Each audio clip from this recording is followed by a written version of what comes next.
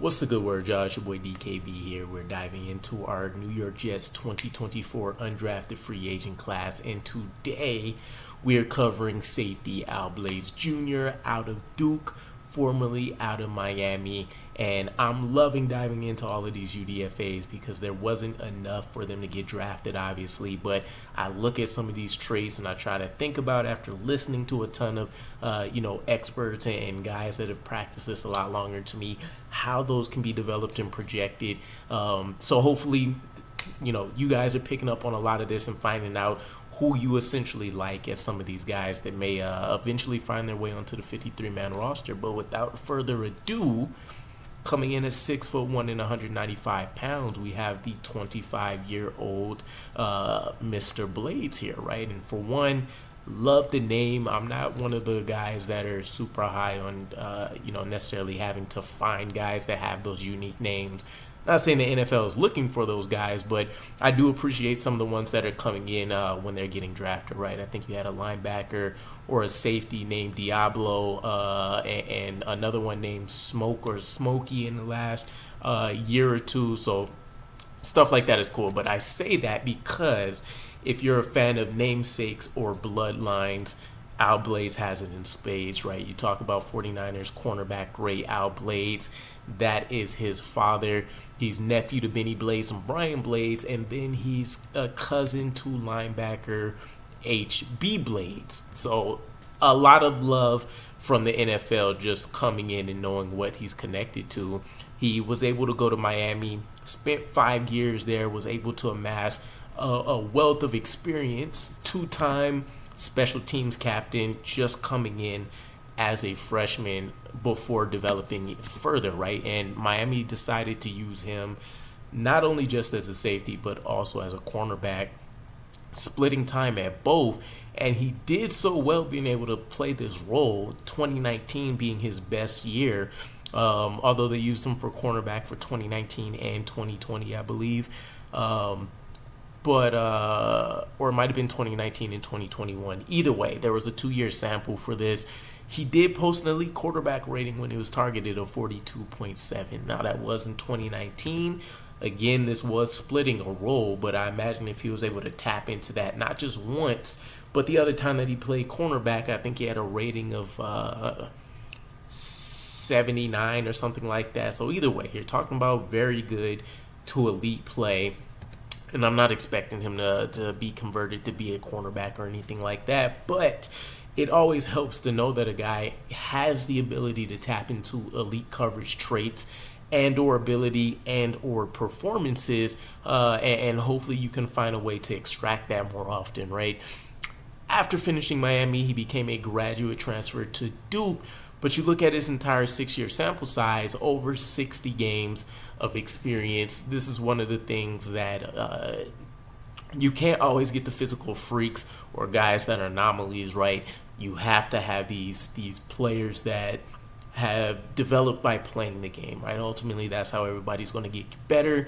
Some people are more naturally gifted and, and can kind of skate their way by a little bit. Uh, but then you have these guys like Al Blades who, uh, you know, they've gotten it out the mud. They, they've been in the stones.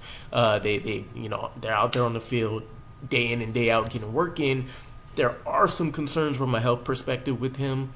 2020, he had some cardiac concerns that had him, uh, I believe it was either not finish the season and or miss a following season, but he was diagnosed with myocarditis um, in 2020, which I believe was like an inflammation of the heart um, after getting an MRI done on it. So that's something you have to kind of be concerned about it, especially given uh, how that stuff hits home with us when you want to talk about, you know, blood clot type situations uh, when it comes to uh, you know Max Mitchell, for example, and all of the other freak injuries that we've had that we've seen kind of end their style careers early, not just for the Jets, but at large.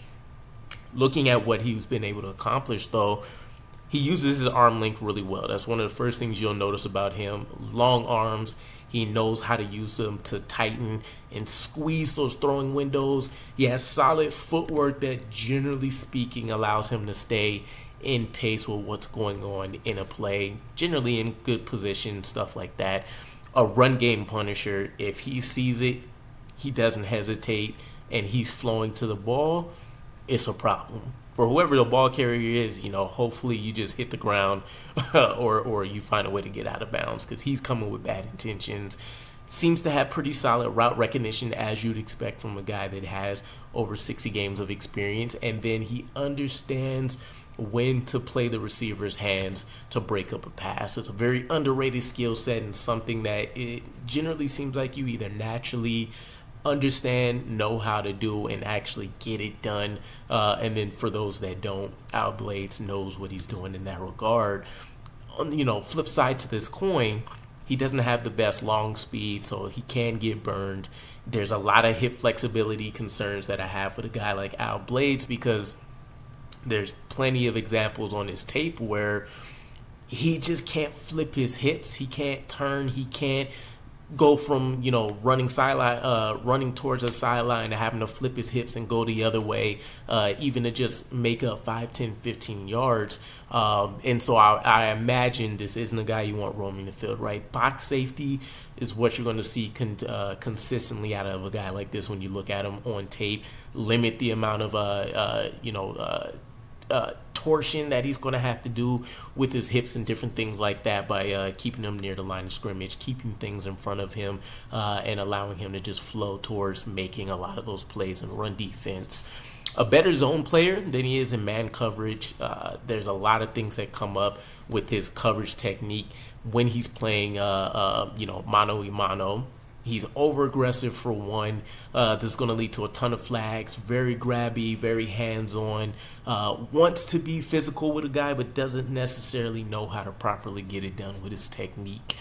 Questions what uh, he's going to see in a run defense. So even though he's a force coming downhill, right, when he recognizes the run and he's targeting you he doesn't always trust what he's seeing, right? It's kind of that Zach Wilson like effect where you know the guy is open, you see him open, or you even see the window about to open, and yet for whatever reason, he doesn't just go full speed and, you know let it rip. So that's something you can coach out of a guy like Al Blades, trusting him because the the odd part is he's generally in good position. His eyes are generally having good discipline he just doesn't unleash like he's supposed to.